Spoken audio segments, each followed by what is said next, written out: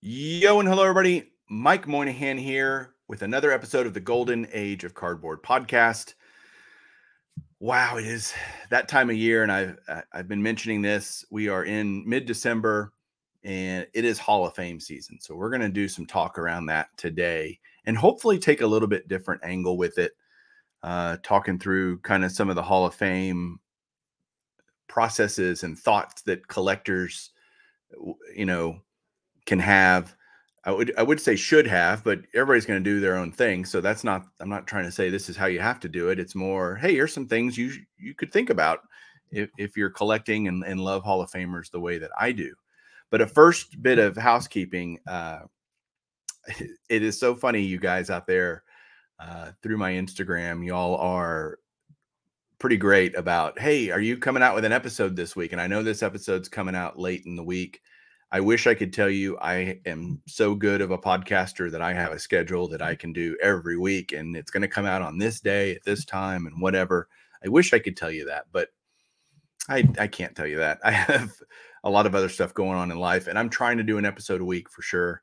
Uh, but I am going to tell you guys there won't be another episode until after the holidays, till after the new year because I am going to be spending a lot of time with family. My kids are home from college and there's just a lot going on and traveling and whatnot. So I'm just not going to have time to do episodes. It's not that y'all aren't important and that I don't want to uh, diminish that, but at the same time, got to do what you got to do.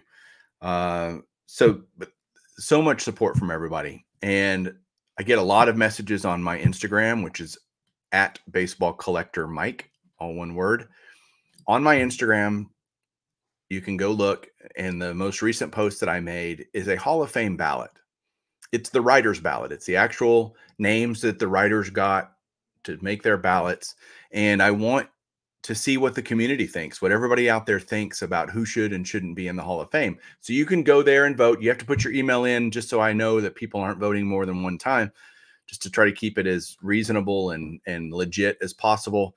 It doesn't matter in the grand scheme of things, but it's I think it'd be really cool to see what everybody thinks. So the link for that is on my Instagram. If you're listening on podcast, if you are watching on YouTube, I'll put a link to it down below and you can go vote.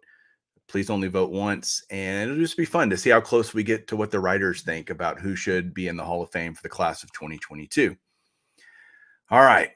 Let's talk about a, a subject that I, that I talk about kind of in an ancillary manner all the time because it's something I think about all the time but I want to do a specific episode since we're in the season of Hall of Fame. And I wanted to bring a guest on that, that I have been remiss not to ever have on the show. He is a guy that has as much passion and love for the Hall of Fame as I do. I know several guys like that in the community. And this guy hadn't been on the show, so I thought I'd have him on this episode to talk Hall of Fame stuff. And it's Jake. Jake, are you there?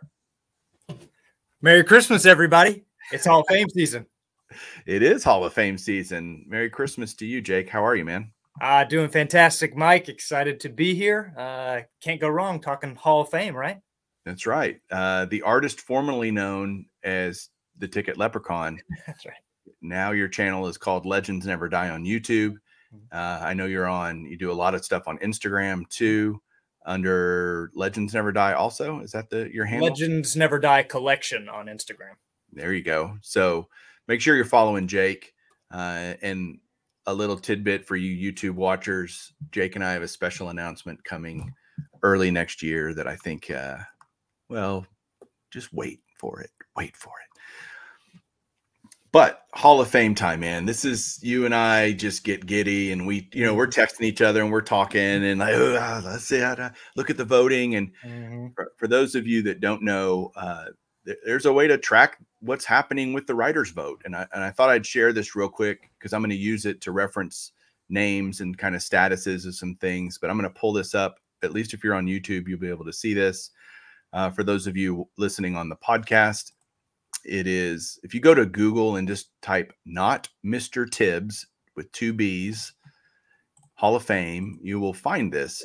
And this is his tracker and he does a great job with his team of mining the the data from Twitter and Facebook and websites and all kinds of stuff to track what's going on in the Hall of Fame vote. Right now, 27 ballots have been made public. Uh, those those will increase significantly over the next mm-hmm. few weeks. So if you want to follow along uh, and see of the almost 400 votes how things are tracking, this is a pretty good indicator of where things end up. So it, it's a good thing to track, and it's just fun if you love Hall of Fame stuff like I do to check that out. So again, I'll be referencing that a lot, as will Jake. Mm-hmm. We've got baseball reference up. There's so many great reference tools out there to kind of formulate your own opinions. And I know Jake, you have a lot of opinions about the Hall of Fame. What what about the Hall of Fame and Hall of Fame collecting do you do you love? What makes you so passionate about it? So my th- favorite thing about tracking everything to do with the Hall of Fame and, and collecting Hall of Famers is you can't tell the history of the game without its greatest players. And I see my collection uh, ultimately someday as a museum to the game of baseball. Uh, and it's largely centered around Hall of Famers. Uh, so the process of being able to watch who is getting in, uh, who or who I think will get in, and, and trying to kind of prospect Hall of Famers ahead of time is exciting uh, for me. I know you mentioned in one of your recent videos, you know, you're excited that six guys got in. You know, you've got six new players that you may not have collected before that now you will. Um, whether that is good or bad, because it's going to cost you some more money. uh, but collecting the game's greatest players you know, their stats are done. They're going to be in the Hall of Fame forever. Uh, so that's something that can't be taken away from them, at least not so far. No one's been kicked out of the Hall. I guess it's possible, right? But it would take something weird to happen. Uh, I feel the same passion as you. And when I started gravitating towards Hall of Fame collecting 12 to 15 years ago, I'd always loved the Hall of Fame and loved the history of the game. But I finally had a, a way to or just focused on that instead of current players i mm. started going man this is a dead end road most likely right and we mm-hmm. talk about prospecting and we're going to talk about prospecting hall of famers today because when i was a kid you know you'd want to buy the current players and i get it like mm.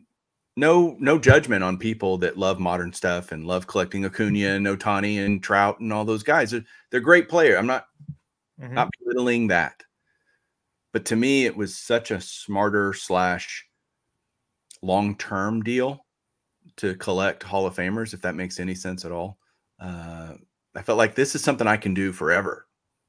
I don't have to worry about this player getting hurt or right. domestic abuse or going on drugs or whatever, right? Mm-hmm. Any of that stuff. It, these were the legends of the game and they never die, according to your channel name. That's right. Uh, but and they don't. And that's that's a great name for your channel. Legends never they don't ever die. They're they're always great players. Mm-hmm. Forget about the value aspect, which really makes sense because Hall of Famers tend to hold their value long term. They don't grow as much. There's not as many spikes and peaks and valleys, but they're the they're the tortoise, right? Right.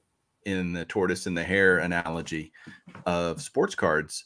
So it's hard to go wrong right? As right. our friend Eric says, it's never bad to buy a Hank Aaron rookie. Well, you could say that probably about any Hall. Never bad to buy a Hall of Famer card, right? Mm-hmm. When uh, uh, to to touch on the value part, Mike, you know, to be on the end of the spectrum where I'm I'm a lot younger than you are. I had to get that in there. Uh. And I have a newborn son at home and that kind of thing. So my funds are more limited than a lot of people. Uh, but since I have a focus on Hall of Famers, you know, if I buy Hall of Fame cards, whether it's vintage, autographs, rookies, autographed baseballs, whatever it may be, you know, that's to me well spent money. Like the odds of any of it losing its value, and it's not all about money, but the odds of it losing any of its value and that being like a bad buy is very unlikely. You know, I've never regretted a single uh, purchase that I've made of a Hall of Famer. You know, not a one. Right. Uh, so I think that's something that I it makes me feel more comfortable about the money that I do invest in the hobby of things that I, I want to keep.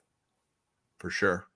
And, and there's so much truth to that. And you are younger, and it's great to see younger guys loving the history of the game like us old farts, you know. And and I really love that about you and several other guys in the I mean, we're a pretty close knit group of Hall of Fame crazies, aren't we? You know, we yes and but there's there's more and more of us coming out of the woodworks. It's it's pretty cool to see through mediums like YouTube and podcasting and things. I get a lot of people that oh I love what I, I, do stuff just like you, and I never knew that other people did, and it, it's it's pretty terrific. For those of you out there that don't under may not understand, or I always try to teach a little bit during these shows and share knowledge, but two different ways that people can get in the Hall of Fame, right, Jake? Mm-hmm. Yep. You've got the era committees, and there's multiples of those. I'm not going to belabor that point, but there are era committees that are voted on uh, annually, typically. This year we had two of them just because one was delayed because of COVID last year. Right. And then we have the writer's ballot every year. Mm-hmm. Now, when you prospect Hall of Famers and you're thinking who might be in later, why should we even care? Like, why don't why not just wait to see who gets elected, Jake, and then, you know, whether it's through an era committee or the writer's ballot, and just buy them then. Well, I think from a, a collector's standpoint, you know, typically a collector cares less about money, right? You're not in the investing and flipping and all that. However, if you're a Hall of Fame guy and you're going to want to collect Hall of Famers like Mike and I do, regardless of when they get in, it makes good financial sense to get in on the potential future Hall of Famers sooner rather than later. I mean, we see it year after year, Mike. You've been in the hobby even longer than I have. Every year, without fail, guys get in, they spike way up, which it's the worst time. I know Frank said it's the worst time to buy these cards right after they get in. And typically they come back down a little bit, but then they plateau most of the time above where they were before. Uh, right. Especially if you were able to purchase them in a period where, you know, they're underrated in terms of their all time resume, but at the specific window that they're playing right now, people feel they're overrated. The example that I always think of is Albert Pujols. So for the past, you know, five or so years, people have been like, "Oh, Albert Pujols' contract, it's terrible. He's killing the Angels. You know, until he gets gone, Mike Trout's never going to win anything. And then he gets cut from the Angels and he signs with the Dodgers. During that time period was the perfect time to buy Albert Pujols stuff because he's arguably a top five hitter of all time he is a lock of a lock of a lock of a Hall of Famer. Uh, and pre-pandemic, right before everything started with that, was when I bought my Pujols rookie. And regardless of the pandemic effect on it, those were going to go up. There's no doubt about it. Uh, yeah. So I, I think that's something that I like to do of buying the the post hype guy that when you know Miggy was winning a triple crown and all of that, and he was in the news all the time. His cards were very expensive. But since that time to now, when he's still playing, he hasn't been as hot. That's when I bought my stuff for him. He's a lock. You know, he's already got the 500 homers and he's going to get 3,000 hits this coming season. Yeah. So I think if you're a collector out there thinking through the different phases of players that you can look at right now, you got active players that you can prospect for the Hall of Fame. You've got recently retired that aren't on the ballot guys. Mm-hmm. And then you've got the other two, you know, writers ballot guys that are still eligible, eligible to be voted in by the writers. And then you've got the era committee guys. And I think there is some nuance and tricks you can think about, or just I think you need to think about them differently for each of those four categories where players might fall at any given time during, you know, history or whatever.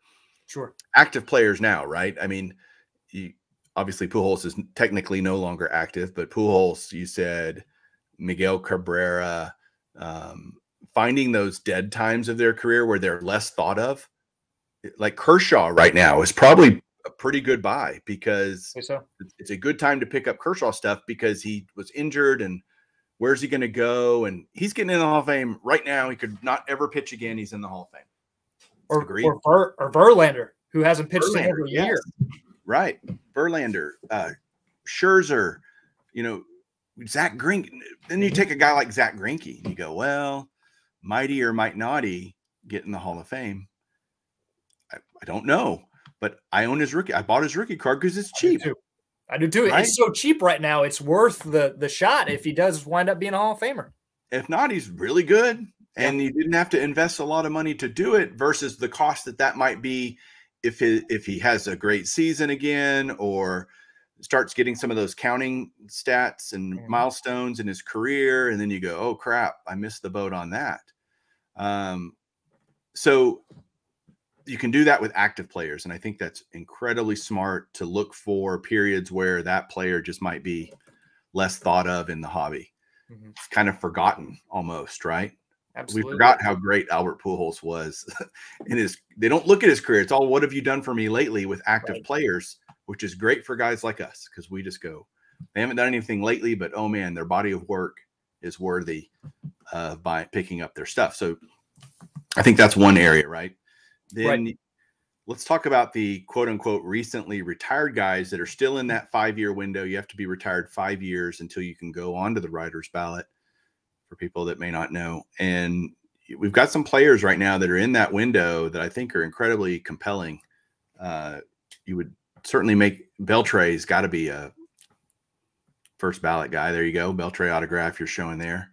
I'm a big Beltre guy anyway. I I got to watch him play every day, and I'm telling you, he's unbelievable.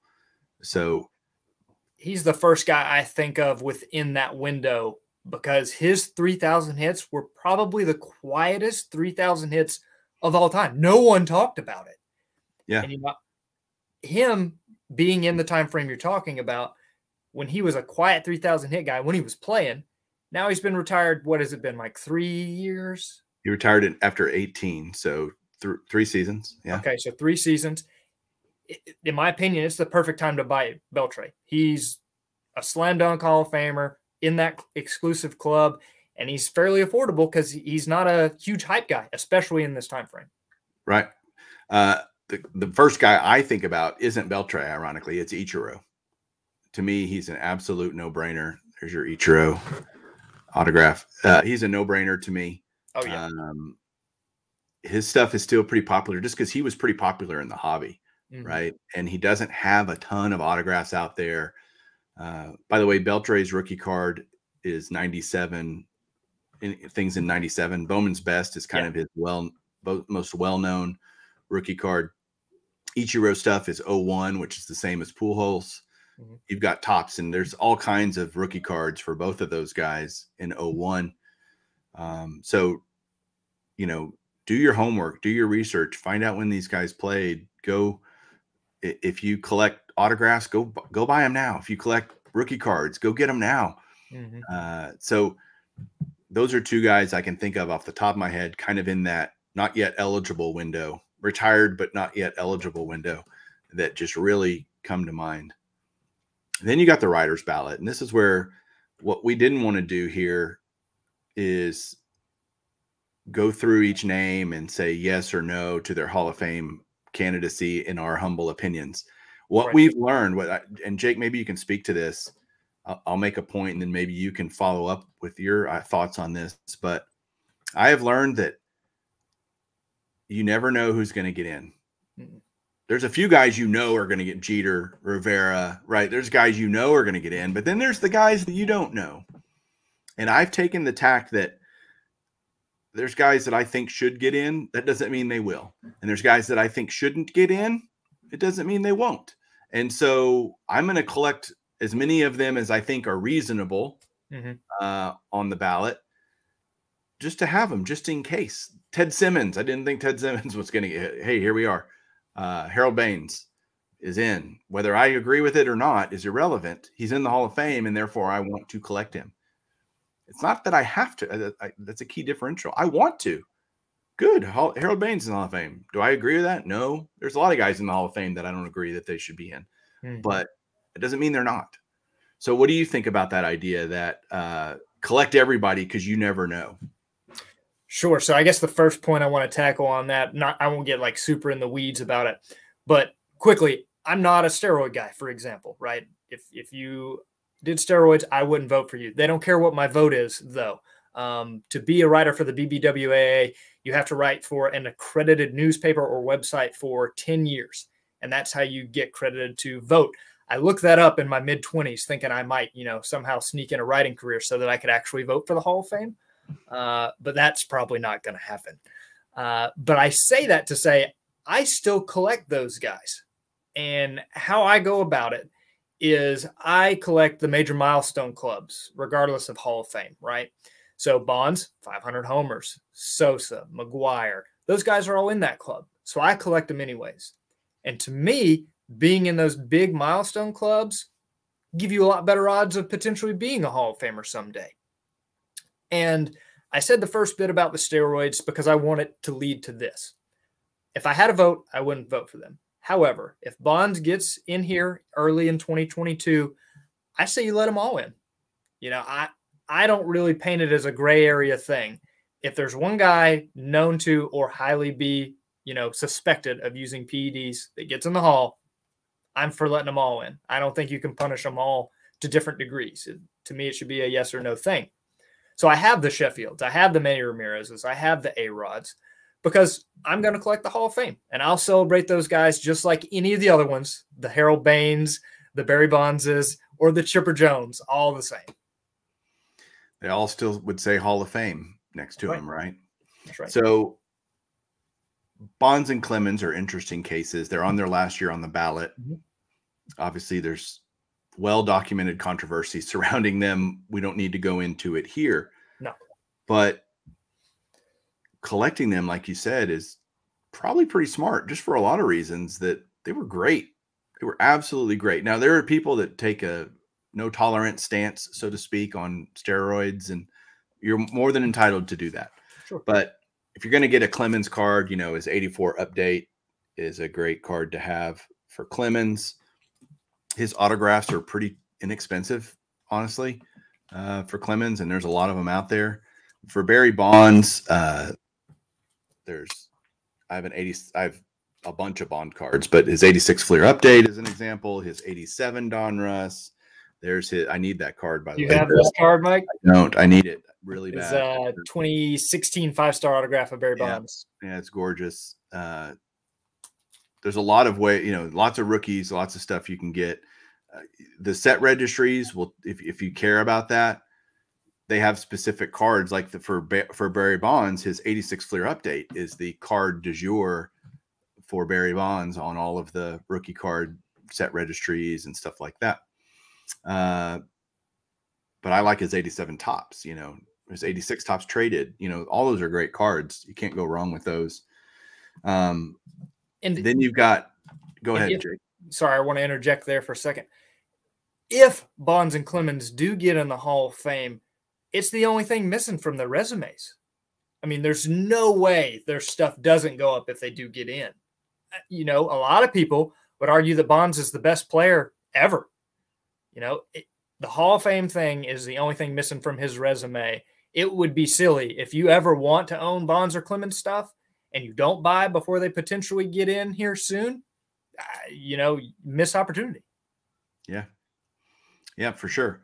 Uh, then you have guys. I'm, I'm trying to go through the guys that are on their last year on the ballot. Uh, Schilling's another one. He is. He has. What's good about Schilling is he only has one rookie card. His 89 Donruss. You're showing. I have that same five star autograph as well, uh, 2016. But he has one rookie card, 89 Donruss. So that's easy to get and super cheap, especially after what he said last year about not wanting to be inducted by the writers. He said, I'll just wait for the era committees. Some people said he doesn't want to be in the Hall of Fame. He doesn't care about it. That is not true at all. I, I think he cares very much. I just think he doesn't care about the opinions of the writers and kind of dug himself a hole that we'll see. I, I don't know that he'll get out of it. He may have to go to the to the era committees down the road. But I also have his 89 Donruss rookie card autographed as Nice. well. Uh, I picked that up last year after he didn't get in, right? So once he failed, everything, right? Mhm. I picked it up because not now doesn't mean not ever. And that's why I think it's so important to, if you think the player is a Hall of Famer, regardless of political views, being a jerk to the writers, whatever you think it might be, get their stuff when you have opportunities to do that. when th- Uh. that's a great point, Mike, that you touched on with Schilling. Of I think of another player that's on the ballot right now uh, that, in some people's eyes, he will be a future Hall of Famer. But right now, he's the other person right now that has lost the most votes so far amongst returning voters, and that's Omar Vizquel. Uh, you know, he's got 25 plus hundred career hits, and he's one of four players currently not in the Hall of Fame that have 10 or more gold gloves. So he's going through some different things off the field right now. Uh, he's losing votes. Could he be a Hall of Famer someday still? I don't know. But I think that his prices and his stuff and reputation has taken a hit. So if you think he's a future Hall of Famer, good time to buy. Yeah. I think it's it's an important point to make too to look at guys and say, uh, sorry about Norman there barking. Uh, there's guys you can look at on the ballot and go, no, I don't, I don't see them ever getting in. Uh, not to look, if you're on the ballot, I think it's an honor, quite frankly. Yes. But guys like Tim Hudson and Torii Hunter and Mark Buehrle and I, I'm sure there are fans of those players that think, of course, they're Hall of Famers. But if, if you're realistic about it, it's probably not going to happen. I don't think Papelbon is going to be a Hall of Famer anytime soon. And they're certainly not going to get in on the writer's ballot. And so the point of that is you got a decade of them being on the writer's ballot potentially. If they get more than 5%, they get to stay on. So you have my point is you'll have plenty of time if those guys do gain momentum down the road like a Scott Rolen, for example. Mm-hmm. He was a guy early on that I never thought this guy shouldn't. I don't. I don't see him as a Hall of Famer, but he started gaining momentum in the writers' ballot, and I'm like, wow, he's he's kind of getting to a point where he's on a trajectory where, come year seven, eight, nine on the ballot, he he might get in. He's kind of doing the Larry Walker thing, right? Kind of moving mm-hmm. up every year. So I did pick up a Scott Rolen rookie card while it was cheap. I think I paid 15 bucks for this or something, $20 maybe. Uh, his rookie is a 95 Bowman's best. Uh, I have it in a mint nine. You know, why not? And I bought a couple of autographs of his while they're super cheap, right? Well, okay. And if he doesn't get in now, he might get in later on the era committees, right? Right. So let's talk about the two first timer guys. Um, because we could talk literally all day about the Todd Heltons and the Manny Ramirez's, you know, Gary Sheffield, Sosa. Do they deserve to be on? Not deserve to be on? They've all been on the ballot for a long time. Uh, and I have my opinions. You have yours. What's great about you and I, by the way, that people should know is we don't agree on a lot of stuff. No, we don't. um, and that's okay. That's the great thing about the Hall of Fame debate. Absolutely. Is uh, you can have a respectful dialogue, conversation about the Hall of Fame, state a case, and that doesn't mean everybody's going to agree with you. And the great thing is, it doesn't really matter because we have no say in it at the end of the day anyway. No. So getting mad at each other because we disagree or whatever would be just silly. Because mm-hmm. uh, at the end of the day, we we have no say. Um, but it's still fun to debate, and we, you and I have great discussions about it. Absolutely. When no, even Go even ahead. the writers themselves that actually vote on the ballot, do you think all 400 and something writers have the same exact opinion and how they go about how they evaluate the Hall of Fame? No, of course no, not. Not at all. And, and that's part of what makes it great. I mean, it's very difficult to get 75% of 400 and something professional sports writers to agree who Hall of Famers are, much sure. less, you know, anybody that you may have a one on one debate with. You know, it's, that's what makes it part of the fun, like you said. Exactly. Um, so the two new guys on the ballot that I think people should, if you if you're not collecting these people and you want to prospect Hall of Famers, you need to prospect these two guys. The first one's David Ortiz. I think of the, all the first timer guys, he has the best chance of getting elected this year. I would agree. Uh, he's not a slam dunk like a lot of people think he is. Uh, I think there's enough controversy surrounding Ortiz's career that there's going to be a lot of people hesitant to vote for him. If the voting ended today based on the spreadsheet, he would be in. But there's only 7% of the votes in. So there's a long way to go. Uh, but collecting Ortiz stuff, I was shocked, Jake, when I was at the Dallas show mm-hmm. a couple months ago. I guess it was October. And I was able to buy, I bought two or three Ortiz autographs for shocked and thrilled to be able to do that. Uh, I do have one that's that's encased and slabbed, uh, and this one's numbered at 25. And I don't think I paid a lot for this one back in the day. His rookie card though is expensive. It is. And I even I remember the video you shot of finding those autographs at the Dallas show. And I believe I commented on there. I was like, wow, that that's like a steal. Yeah. That's a great deal for Ortiz, a 500 home run club member and a beloved figure, which helps him on the ballot despite some of his controversy. And, you know, that's why I've got his uh, 2015 five star autograph here I'm showing. Awesome. But I think you're right. I think he's shockingly undervalued somehow. A good time to buy Ortiz. Right. Except for his rookie is not. I will tell Except you. Except for the rookie. It's um, which he has two main ones 97 Fleer Tradition and 97 Fleer Ultra, uh, where he's named David Arias, Arias. just so everybody knows. Uh, and so those aren't cheap in high grade. You can find them, but they're, they're going to cost you. And I don't have those yet because of the cost. I've been like, ah, but it's it's kind of the eat, do it now or pay more later, right? It's that's even kind of even at the opposite end of the spectrum here, where I you know collect raw cards, uh, and I want a raw David Arias uh, rookie card compared to other '90s rookies in the same era as him. It's a lot more expensive, and I'm like, ah, it's you know a, a late mid '90s rookie card. Do I really want to spend 20, 25 bucks on it or whatever it is? And but you're right. If I don't eventually pull the trigger, I do think he's going to be a Hall of Famer someday. Uh, so why wait? My genuine hope is that he doesn't get in this year, that he's close Mhm. and his stuff drops and then he gets in next year or the year after. That that's kind of what I'm hoping happens because and it, it's only a hope because I've I feel like I've kind of missed the boat uh, on his stuff. Uh, and the other guy is A Rod, who is besides Clemens and Bonds, easily the most controversial person on the ballot because of his accomplishments, because he was indeed suspended for PEDs versus the other guys who were widely speculated and most likely did, but never proven. A Rod was, he was busted Twice. twice. Twice. and you can argue both sides of that fence. Uh, hey, he he got busted. He paid his time. Mhm. He came back. You know, whatever. Uh, the argument of well, if steroids gave him twenty percent more, twenty five percent more homers or RBIs or whatever that he might not have had, and allowed him to play in more games because he healed quicker, et cetera, et cetera. Okay, reduce his stats by some number, and he's still a hall. You know, Mhm. all of those are are arguments that you hear floating out there.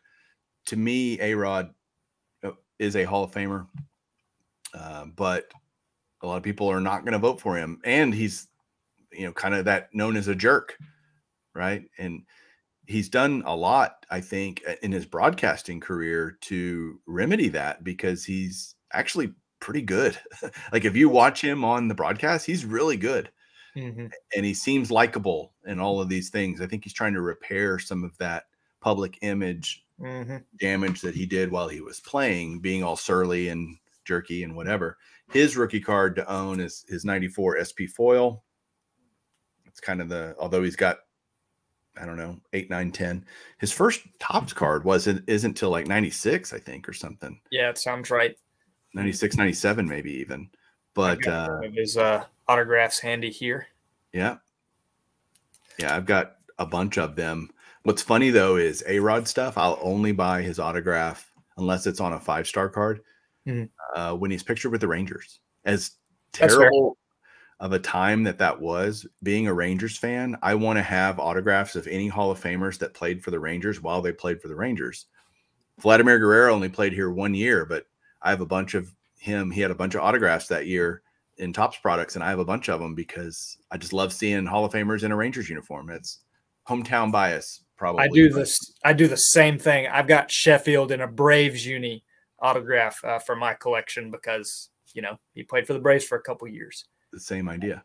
And talking about A Rod and pretty much how the writers are going to treat him, I've thought for years with Bonds and Clemens after the first couple years that I'm like, just gut feeling. I don't know anything. I don't know anybody. But I felt for years that writers were going to punish them by not voting for them until the last year. Like that was the some of the writers' way of, hey, this is your punishment. You're going to have to wait a decade to get in. Now, how much truth there is to that or not, we'll see after this year's vote. But I think if that happens to them, I anticipate the th- same thing happening to A Rod, uh, just because they're similar, even though some could argue that his was much worse, being actually busted twice. Um, and at that point, though, we would be 20 years separated from when Bonds and Clemens, you know, started their ballot process. So yeah. maybe things soften between now and then. More PED speculated or PED positive guys get in between now and then, and that stigma could change. For sure, and I think it will. As you have younger guys that that I think it's an inevitability, as a matter of fact, that guys will think of that as less of a big deal. Mm-hmm. The further we get along in time, memories fade, uh, bitterness fades, right? Or, and, or people that didn't actually experience the the pain of that. Sure. You know, for example, uh, on the opposite end of the spectrum, you may talk about a player that you saw growing up, you know, in the in the 80s that I never saw that is a borderline Hall of Famer, and you say, Man, I watched him play. He was a Hall of Famer when you watched him. There was no doubt. Where I have no emotional attachment to that, positive or negative, and I just see the numbers. So with the PED guys, you know, if you didn't live through that era and feel the pain and disappointment of when that happened, you just see the numbers and you say, Bonds has the most home runs all time. This is silly. Put him in. You know, or Clemens, he has seven Cy Youngs. That's incredible. Like, put him in. And I think that you're right that if, especially if you didn't experience these things at the time, that you're less likely to hold a grudge or put someone on a on a pedestal because of that. It becomes more black and white over time yeah, a lot of people feel that way, uh, as you're mentioning, like Dale Murphy, for example. Mm. You know, that feel he's. I watched him; he was great, and all of this. Lou Whitaker, uh, by the way, great guys to prospect because their stuff's cheap. Absolutely, and and they might get in someday. Uh, you know, guys like that. Uh, yeah, I totally agree with your point about that becoming out of sight. I don't, you know, if you didn't experience it, being much less of a big deal than the guys who did, the people who did. Um, now let's get into a little bit about. Well, first, I want to bring up a point that was just made glaringly obvious to a lot of us collectors out there at the last era committee vote that was announced on December 5th, I believe it was December 6th, something like that, mm-hmm. earlier this month. If you had told me Dick Allen was not going to be elected to the Hall of Fame, I would have called you a liar and what are you crazy? And of course, Dick Allen's going to get. He missed it by one vote the last time that era committee met. Certainly, he's going to get voted in now. His rookie card was blowing up cost wise, mm-hmm. and I still don't have one, by the way. Me neither. Because I was like, I'm just not paying that. I'm just not, and I'll I'll wait. And I also think, and but uh, sorry, I'm trying to make too many points at one time. I'm going to end up confusing myself. Let me finish the Dick Allen point. Had people put a lot of money at these high prices and guys they were sure were going to get in the Hall of Fame, and at the moment, I was sure he was going to get in. Mm-hmm. Whoops, you know, but it's not necessarily a mistake. It's not a whoops forever. You just might have overpaid a little bit. Do I think Dick Allen ultimately gets in the Hall of Fame? someday? Yes, I do. It's, he's going to have to wait at least five years till that committee meets again. Um, so those mistakes, you know, there are times when you're going to be buying guys and thinking, yeah, they're getting in, and then they don't. So there's that too. There's the surprises on the yes, they got in. Whoa, they, who got in? What? And the guys that for sure they're going to get in, and then they don't. Agreed. Agreed. As as the ultimate and resident Dick Allen detractor in the YouTube community. Uh, if you saw my recent uh, video on the ballots before they came out, I wouldn't vote for him, but even I said he was going to get in this last bout, and he didn't. Now, like you mentioned, it may not be a bad thing because down the road, a lot of people, a lot of people still think he's going to get in, and he's been very close. Because on the flip side, think about if you were a Hall of Fame prospector 20 years before you and I, Mike, and you buy Gil Hodges at the same time that he just barely missed a couple years in a row, right? Just like Dick Allen. Only guy ever to get over 50% of the ballot and didn't eventually get in. I mean, he hasn't even managed for what, 50 years? And now Gil Hodges is in. And before we got on, you know, the video here, we were talking about, man, can't believe neither one of us had a Hodges before this. Guess we'll have to wait a while because now prices are crazy because he finally got in. And the same exact thing could happen with Dick Allen. It might not be the next time he's on the Eras ballot. It could be the second time after that. You don't know. But if you think that he's a likely Hall of Famer, it's probably a never time, a bad time to buy. Yeah. What's another the yes, you might be wrong now. You again, that doesn't mean you're wrong forever. Mm-hmm what's really great though about all the hype around Dick Allen and Gil Hodges and Minnie Minoso and all these different players and Barry Bonds and Roger Clemens is the the Hall of Fame prospecting does a couple of things. It makes way more cards available of that person typically mm-hmm. when there's talk around it and then there's hype around it. Uh, you saw a lot more Dick Allen cards being listed on eBay, raw and graded. I'm a graded guy. Jake's a staunch raw guy. So we, again, like I said, you can be great friends and not see eye to eye on everything. And that's great. I love that Jake buys raw ones because he's not competing with me for the graded ones. But and I like you buying the graded ones because you're not competing on my raw. Exactly. But that we share the passion, and that's the key that right. people need to take from this but it does create this wave of cards being available, whether it's rookie cards and autographs. And, you know, uh, I did, you know, get caught not having some things of some guys and seeing them on eBay finally once they got elected to Hall of Fame. For a graded guy, now that they're Hall of Famers, you're going to see a lot more cards being sent in to be graded uh, because they now command a higher premium and it becomes not necessarily at today's prices of grading, but uh, you know, at some point, if, if value grading prices normalize, which you could argue that's never going to happen, but uh, those cards could be sent in more, uh, which is which just creates more opportunity for collectors like me who love Hall of Famers to. That's the that's the plus of Hall of Fame hype is it gives us collectors more opportunities to pick things up that we want for our collections, right? Absolutely. When to, I guess, look at the flip side of that coin of, you know, when these new wave of Hall of Famers get in each year in the new class, we've already gotten six from the era committees this year. If we get, let's just say for argument's sake, let's say it's Bonds, Clemens, and Schilling somehow all get in this year. That's nine new guys that got in the hall this year. Now, I would actually take the opposite approach of, okay, these nine guys that just got in, I'm not touching them right now. All the eyeballs are on them. Everybody's trying to buy their stuff. I'm going to go try and get some of the guys that I think are still overlooked or guys that got in the past five years that I may not have yet, that maybe some of the hype has died down for them and the, the prices have softened a bit.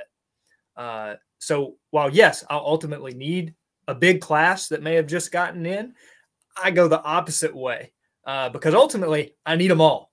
Uh, so ideally, in a perfect world, Mike, we'd want to buy every single card that we need at the right time at the cheapest amount, right? Sure. And, and you're totally right. I'm not saying go out and buy these guys. Like, don't buy a Dick Allen, you know, during the the crazy hype. But what it does is creates more supply. It trickles down over time, right? Oh yeah, and that's More absolutely a positive. Yes. You, you, know, for example, even even Hodges, who's hot and expensive right now, Hodges autographs you didn't see that often, even on eBay, really, that came up. Right. But now, because he got in, a lot more have surfaced. So that is a positive. You know, you may have to pay up a little more, but now you have more opportunities to buy Hodges at a time when they're actually going to be available. That, that's a good thing too. One point you brought up that I want to highlight because I think it's brilliant is you, you said something when when everybody's zigging, I'm gonna zag. When everybody's focused on these six guys, I want to look at these other guys, and I, I have this picture in my mind, Lord of the Rings, when you know Sauron's eye gets diverted and yep. they create a distraction. Well, the idea there of the new Hall of Fame class is now a distraction to Hall of Fame collectors. Mhm. I can go pick up the guys that they're ignoring right now because they're not in. Yep. You know what I mean? Like I think that's a a brilliant point that I don't want to overlook and and understate because I think it's a great way to look at it and very smart. Okay, these guys are all popular right now. Buck O'Neil and Minoso and Oliva. Let me go get the Beltres and the you know whoever else might be uh, the Fred McGriffs. By the way, um, we haven't even gotten to the guys uh, that are, and I know we're we're running short on time. Not that I have a time limit, but just I want you guys to be entertained Sure. more than bored. But there are plenty of guys in that era committee, future era committee stuff. Think Mark McGwire, think Rafael Palmeiro, think Juan Gonzalez, Fred McGriff, Dale Murphy, Joe, uh, Lou Whitaker. Um, throw out some other names, Jake, that I'm not thinking about right now that'll come up later in era committees. Carlos Delgado. Carlos Beltran. No, he'll be on the ballot. He's not even on the ballot yet. He's one of those guys right. that's not on the. CC Sabathia is another guy that's in that window ballot of yet, not on yeah. the ballot yet, right? Who? He, he's not on the ballot yet, but yes, absolutely. CC. Like he's one of those Beltre Ichiro window guys that's in that five year window. Sabathia is going to be a Hall of Famer. Like Uh, again, do- agree with it, disagree with it. He's going to get in at Well, some point. depending on your opinion of this. Uh, but I think that uh, how catchers are looked at in terms of the Hall of Fame is potentially about to evolve uh, because you've got some big name catchers of this era coming up that what you think is important of their statistics is irrelevant. But I think that it could change with Mauer coming up on the ballot. Posey just retired, and Molina announced his last year. And a lot of those guys, eye test wise, are seen as Hall of Famers by a lot of people. And their stats may or may not stack up with some of the current catchers. And I think that's going to change. I think it's a, a good time, especially for Mauer, because he's post hype right now, to prospect him as a future Hall of Famer. Yeah. Uh, First of all, I totally think that those three guys will get in. I only think Mauer deserves it. But again, that's my opinion. and It doesn't matter. right. It it doesn't matter what I You're trying to predict what the writers and the committees will do, not what we think. Correct. And, and I want to own them all. If Yadi gets in, great.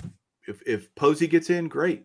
I think that the the mindset towards catchers is changing, much how it's changed for pitchers over the last Mhm. five to ten years. Well, no one's going to get 300 wins. Or, excuse me, it's highly unlikely anyone's going to get to 300 wins anymore. So how do we reevaluate what a pitcher does? You know, and that Koufax effect of if you're really great for a short period of time as a pitcher, that's good enough. DeGrom is a Mhm. great example. Plays on a crappy team. Felix Hernandez is an interesting case. Uh, does he get in the Hall of Fame because he was so dominant on really crappy teams? Won a Cy Young with a losing record. You know, so I just think the mentality towards traditional stats, traditional metrics is shifting. For it certainly has for pitchers. I think it's moving that way for catchers. Uh, I'm trying to think of some other kind of future era committee guys that are off the ballot for the writers that people that are probably flying under the radar is Albert Belle. Is he a Yeah. Hall of Famer? Maybe, maybe not. uh, Steve, Steve Garvey or uh, Right. Johnny Damon, uh, Keith Hernandez, just throwing out some you know possible names. Uh, Johan Santana, kind of one of those short peak guys. Uh, even Luis Tiant, you know, for his his short peak and his contributions from the Hispanic Dominican community as a Yeah. pitcher for them. Yeah, there's a lot of factors that go into it. Ultimately, Jake and I are not here to be predictors and or soothsayers about who will be in. It's to give you guys food for thought on, hey, I like this stuff. I love getting these players. They're all great cards too, by the way. You're talking about great cards of these guys. So you're not wrong adding them to your collection, probably whether they get in or not, uh, just because they're cool and, and fun. There was a, oh, uh, Salvy Perez is it Yeah. thinking of the new catcher era, especially after the year he had in 2021. He's now on a lot of people's radar as a future Hall of Famer and what he's done in his career. One World Series. You know, I mean, he's he's got it putting up, building a pretty good resume, right? Mhm. in the new era of evaluating catchers.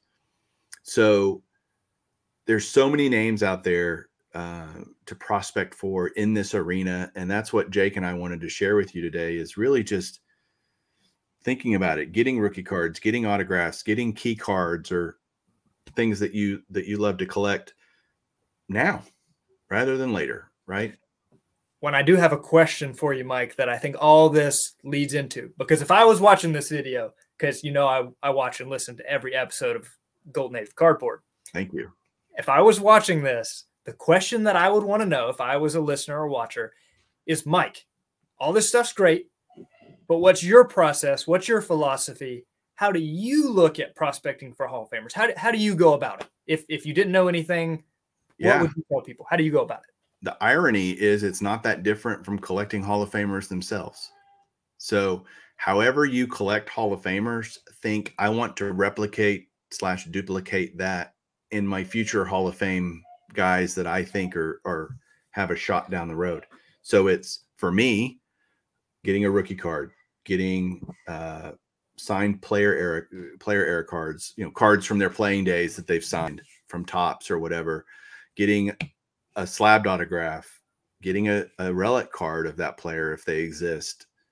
Um, any five star autos that they have, I want to get those. So it's not different than collecting Hall of Famers when I'm trying to do it now cheaper is, is basically what it is. If that make does that you, you right. get it? And I guess to build upon that question for the, the second part of what I'm getting at. So do you say, okay, I test. I remember watching this guy. I think he's a Hall of Famer. I'm going to go after his stuff as a prospect. Or do you have a, a system to it, or what do you what do you do there?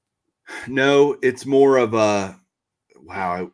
This is going to sound very non uh, definitive in the way I answer this. Like I don't I know you have a great system that you use and you have different metrics that you make it very analytical and I'm setting myself up, obviously. You did, yeah. But and and I respect the process that you go through. I look at momentum, I look at, you know, kind of do I think they were or not? That I can't take my personal bias out of it. Mm-hmm. I wish I I wish I could eliminate it. I can't. And so, but I also like I have Fred McGriff stuff. I think I think Fred McGriff should be a Hall of Famer. I'm shocked he didn't get elected by the writers, quite frankly. Uh, when you look at what he did in the era that he did it, most likely very clean. Um, he was an RBI machine, and I saw him, and he just just knocked in runs all the time. Like Fred McGriff to me was a Hall of Famer. I thought that when he played. My so favorite things play into it. So my favorite thing to say about Fred McGriff is him not being in the hall. It's a crime, dog. Yeah, it is a crime, dog. But I wish I had a more. Uh, I can't even think of the word. My vocabulary is leaving me in the moment, but it's very much feel, gut, cost. All of those things play into it, and I kind of go through little phases where hey, I'm looking for Lou Whitaker stuff, or I just, hey, I think Lou's going to get in, and I get on a kick, you know, and then mm-hmm. that kind of I, I, pick up a few things or whatever, and then I go, oh, Fred McGriff, man, I can't forget about Fred McGriff. Let me go look for his stuff. Uh, it's never a constant because I have so many guys that I'm looking for that I can't look for them all the time. You have to, but that also keeps it fun, by the way. It does. I, I never get bored because I always have a new guy to look for, other cards to look for. Ooh, are there any cool autographs? Are they in this set or whatever? That that keeps it actually quite lively for me and and fun. When you now the same you, way? you mentioned, I do. I, I think it keeps it fun. If you know, there's the finish line never is in a set place it it kind of moves a little bit as new Hall of Famers are elected, and we're sure. we're thinking about guys that may get elected, and and that is fun. Um, now, different from you, Mike. You know, you grew up with your dad working in and around baseball, right? Well, my dad did not like baseball, so I I taught myself the history of the game from looking up stats, reading books, all that kind of thing. So if you're not someone who's collected for you know 30 years like Mike and you you didn't watch those guys or you don't know the history of the game and you think who could be a, a potential hall of famer? I'd point you first in the direction of the major milestone clubs. 500 home runs 3000 hits 300 wins 3000 strikeouts. If they have any of those odds are pretty good that they're going to get in someday. Uh, but even a step down from that, if you you know back off those a little bit, let's say a, a close home run total for a, a Hall of Famer. Let's let's just call it 400. If they're in the 400 home run club, hey, decent chance that they might get in someday. And those are easy thresholds to to take a look at and uh, potentially collect those guys if you didn't watch them or you don't know the game as well that you still want to prospect Hall of Famers. I think that's an easy way to look at it. Great advice. Absolutely great advice. With that, man, I, I think we'll wrap this, put a little bow on it since it's Christmas time. Uh, Jake, thanks for being on the show. One last time, tell everybody where they can find you if they want to go see all the great stuff you talk about on your channel. Sure. On uh, YouTube, my channel is Legends Never Die. And on Instagram, I am Legends Never Die Collection. Would love to see you guys over there. Well, awesome. Never a bad time to talk about Hall of Famers, right? Never. Uh, I really appreciate it. And thanks for being here, Jake. Everybody out there, have a Merry Christmas. Uh, Jesus is the reason for the season. So don't forget that. And Amen. thank you guys so much for supporting the channel, supporting this podcast. We'll catch you guys soon and keep collecting.